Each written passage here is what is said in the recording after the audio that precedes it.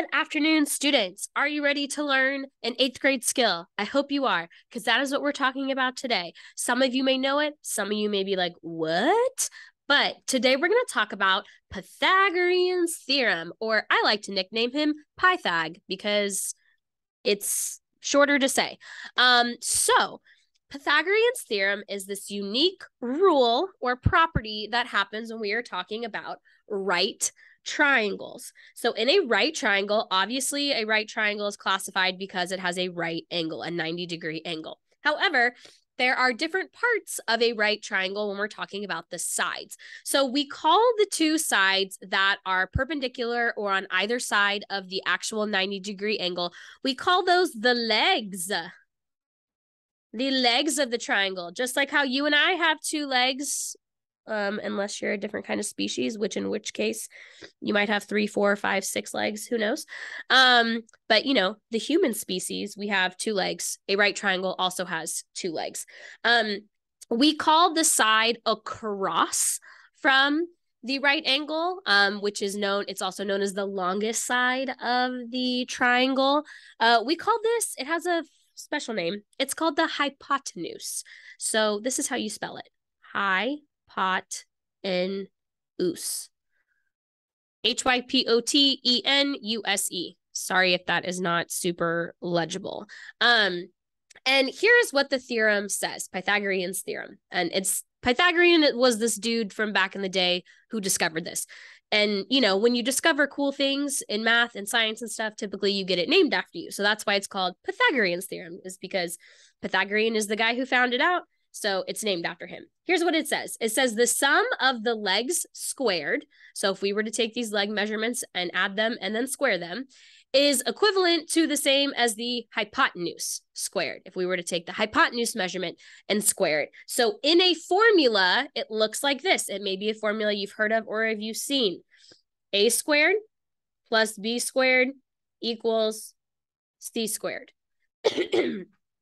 I personally while this is a good formula, like shout out to Pythagorean for coming up with this theorem and this formula, I personally like to use the formula L squared plus L squared equals H squared because A, B, and C are all talking about if we were to like label the legs A and B and then the hypotenuse C, which is fine. But I'm like, it doesn't really matter which is A and which is B, right? They're both the two legs of the triangle. And because we're just adding them, right, we could add this formula could be B squared plus A squared equals C squared. Like it doesn't really matter the order.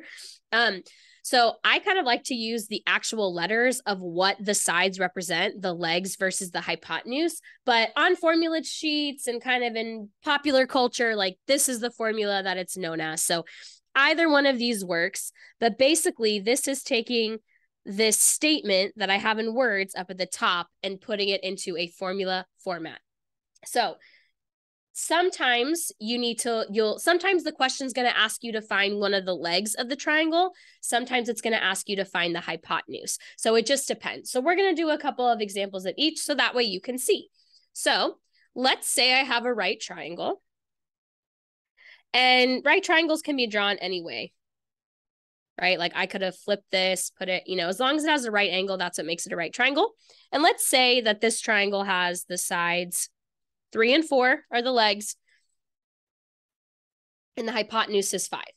If I wanted to see if these could be three potential sides of a triangle, first I need to check that um, theorem from before that if I add up any two sides, it has to be greater than the third side. But because it's a right triangle, I also need to check Pythagorean's theorem. So I need to check, does three squared plus four squared equal to, is that equal to the same thing as five squared? So I'm just going to use what I know about exponents to solve. So three squared is nine, three times three. Four squared is four times four, which is 16. And 5 squared is 5 times 5, which is 25. So I need to check, does 9 plus 16 equal 25? And it does. So yay. These could be three potential sides of a right triangle. So sometimes they'll give you like three sides and be like, could these be three right sides of a triangle? And you have to plug them into Pythagorean's theorem to figure it out. Now let's use it where one of the sides of the triangle is missing. So let's say I had the triangle. I'm going to draw it this way this time. Let's say I had a right triangle and I knew that the hypotenuse was 15 and I knew that this leg was 9, but I don't know what this leg is. So I'm just going to say x. So I can figure out what the length of this side of the triangle is going to be just by using Pythagorean's theorem. Now, again, it only works with right triangles. So if there wasn't a right angle here, I couldn't use this formula. So if I use my formula, L squared plus L squared equals H squared, or A squared plus B squared plus C squared, whichever the case, I'm going to plug in what I have. So I know that I don't have, excuse me, I don't have this side, so I can just keep that as L squared. I'll replace it with X in a moment. I do know that one of them is nine, so I can replace it with 9, that L, so 9 squared, is equivalent to the hypotenuse squared, which would be 15 squared. So if I replace this with X, I have this particular equation x squared plus 9 squared should be equivalent to 15 squared. So to figure out what x, the length of this side of the triangle should be, I'm just going to solve this equation like how I've solved so many other equations um, by using my good old pose. But I'm going to replace my exponents with their standard form. So 9 squared is 9 times 9, which is 81. 15 squared is 15 times 15, which is 225. And then if I use my properties of equality to solve, I'm going to get rid of 81 because I'm trying to figure out what x is. So I'm going to subtract 81 from both sides of my equation using the ESPO property. I'm not going to make you label it here, but remember that's the property. Um, and then I have x squared is equivalent to uh, 225 minus 81 is 144. So I have x squared equals 144. Now, in previous fashions, we've just been using MPO, DPO, ESPO to solve for x. Um, but x squared is x times x, and we're taking something squared. So the way that we undo something squared is we do what's called, we take this, we do what's called taking the square root. So if I was to take the square root of x squared, that's going to leave me with just x, right? Because x squared is just x times x. So if I take the square root, that's going to tell me what x is. But remember, with an equation, what I do to one side, I have to do to the other. So if I'm going to take the square root of x squared to simplify for x, I have to take the square root of the other side. So basically, x is going to be equivalent to whatever the square root of 144 is. And remember, when something is squared, that means it's something times itself. So, for example, 2 squared is 2 times 2. 9 squared was 9 times 9.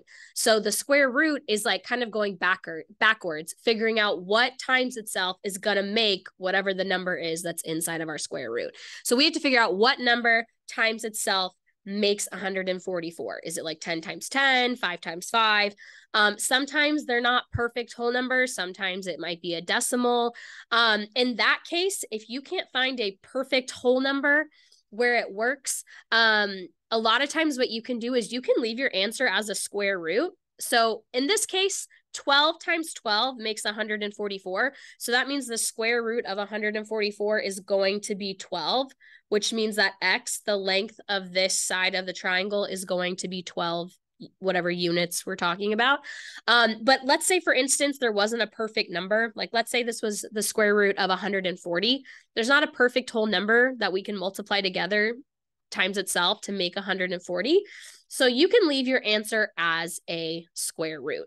And we're going to talk um, later in the year about how you can even like simplify square roots, kind of like you simplify fractions. There's even a way you can simplify square roots, but you can leave your answer as a square root if it's not a perfect whole number. I believe one of your practice questions, the answer ends up just being a square root.